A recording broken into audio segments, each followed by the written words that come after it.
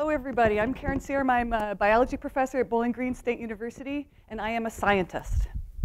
Um, what image comes to mind when you think of the word scientist?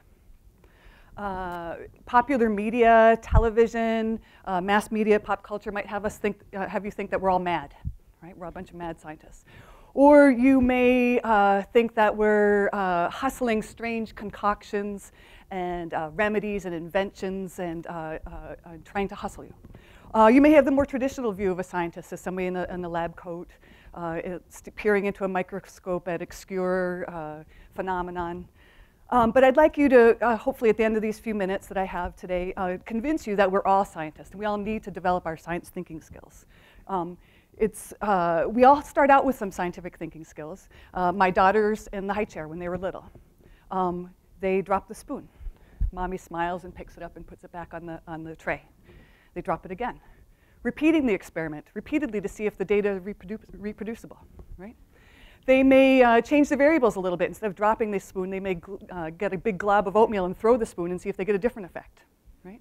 But we can only get so far uh, with um, these sort of inherent scientific thinking skills. Without explicit training, uh, we're not going to be able to get these scientific thinking skills up to the level we need to make the types of decisions we need to make today. Um, so uh, there's all kinds of ways we make decisions. Uh, we make decisions based on uh, moral and ethical uh, reasoning. We make decisions based on values we may have learned from our families. We make decisions based on uh, higher authorities, perhaps from our religious uh, teachings. But we also need to have another tool in our toolkit, and that's scientific thinking skills in order to help us make decisions to get to the results that we want. If we have a desired outcome, if we can base some of those decisions on facts, on reality, we're more likely to get what we want. Um, consider uh, just as a consumer. Uh, uh, when you're shopping, trying to decide uh, what, you, what will be best for you, uh, what will be the healthiest choices in the, in the, uh, for food, what will be best for your economy, um, what will be best for the environment. Um, scientific thinking skills can help you with these types of decisions. They can help you, of course, with, with health decisions for yourself and your, lov your loved ones, healthcare decisions. Um, it, scientific thinking skills are important for even making decisions about uh, how we live on this planet um, what types of choices we make in terms of the environmental impact, the um, making sustainable choices for how to run our communities, uh, choices at the uh, ballot box, and um, uh, scientific thinking skills will help us with all of those types of decisions. Um, and there's re we're really in a crisis right now. Um, so the, the, vast majority, well, there's a huge, huge problem right now. The scientific thinking skills of the population are really faulty. They're really limited. They're not up to the speed that we need in order to envision and reimagine the type of Toledoan world that we're, we're aiming for. Consider that $10 billion is spent annually on pseudoscience, fake medical treatments and remedies. This dwarfs the amount that's spent on actual science research for medicine. Okay. um, we're inundated with information. There's a ton of information coming at us all the time, and everybody has access to this information. So we need to make sure that everybody can navigate this information in a way that's, that's based on evidence and so that choices can be made that are, are, are going to get to us where we want to be. Um, so, and make sure that we don't get fooled. Okay, we need to have these sort of scientific thinking skills so we don't get fooled. So consider this question. Um, there's a cabin on the side of a mountain, um, and three people inside, and they're all dead. Um, how did they die? Just think about it for a second. The three people were actually the pilot, the co-pilot, and the navigator, right? So you were probably thinking of a cabin, a log cabin in the woods, and not thinking of this type of, of cabin, uh, uh, airplane cabin. Here's another one. Uh, a woman leaves home and makes three left turns, and on the way uh, she passes two women with masks. Who were those two women? They were the umpire and the catcher.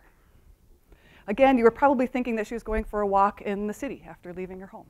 So we make assumptions like this all the time, and these false assumptions can lead us astray and, and, and, uh, and trip us up when we're trying to make choices. Um, look at this image for a second.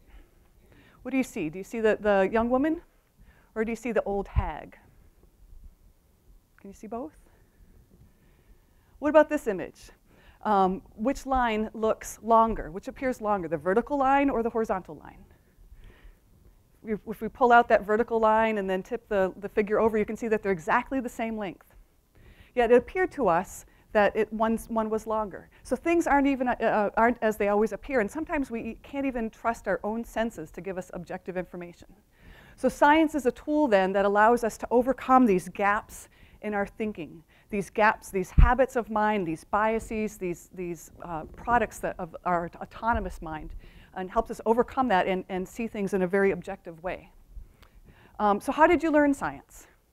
Uh, you probably remember lugging around these giant textbooks, expensive, really heavy, um, packed with detailed information about how the natural world works. Um, and if you look at chapter one of most of these textbooks, there's an explanation about the scientific method, the scientific method. And students memorize a little series of steps, and you can probably re uh, recall this now that I'm, you know, some of you probably painfully recalling some of the steps of the, the scientific method that you had to memorize. Um, and, uh, and even though students can throw around these, these words of the scientific method, hypothesis, conclusion, independent variable, dependent variable, does that mean they really know how to think scientifically? Um, it's like this. The teacher can say, I taught my dog to whistle. And you ask, well, I don't hear him whistle. Say, I taught him. I didn't say he learned it.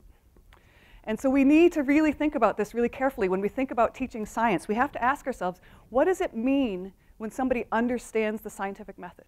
What does it mean? It's not only what they know that's important, it's what they're able to do that's important. And what kind of connections and problems can be solved using the scientific method. That's what's really important. And so there's a lot, we can apply science to the science of learning. There's a lot that's known about how the mind works and how people learn.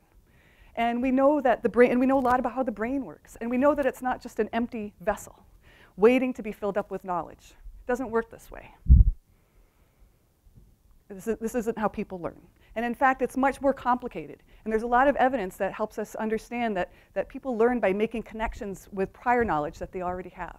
And we need to use this evidence about how people learn and how the mind works in order to help students learn to think and to, to make good decisions. And um, there's a huge body of evidence that says that, um, uh, and I hate to say it today because we're all doing it, but um, that teaching by telling, by standing up and lecturing for an hour, is, is a very ineffective way of helping students learn. Um, a vast majority of them will not remember what you told them um, for any long-term and lasting way. Um, and it's really obvious if you think about it. Think about going to the beach and, and what type of instruction would you have hoped that the lifeguard at the beach has had? Would you have liked them to have heard a lecture, perhaps from an Olympic swimmer, you know, fabulous speaker who explains the proper way to swim and the right strokes and the right rescue techniques? Or would you rather have had them actually be in the pool, trying it out, getting some feedback, and learning how to actually do, do this, the, the, um, do the swimming and do the rescue? Um, so what it boils down to then is that we have to be scientists in our teaching. We have to be scientists in our teaching. And, and, and in our uh, envisioning Toledo and, and, the projects that we're developing and the, and the things that we're trying to do to move forward, we have to base it on the evidence of what's worked before, about what's actually happening in the mind and in, other communities, what works. Um, and so that we can design and implement new programs, new learning environments for our students and for our community, and then what we really need to do is measure whether these things are working for us so that we can go back and fine tune them and re-implement them, getting closer and closer to the goals that we have. Okay? And it's this assessment word that um, if you go to a faculty meeting, it's one of the seven dirty words you can't say at a faculty meeting, right?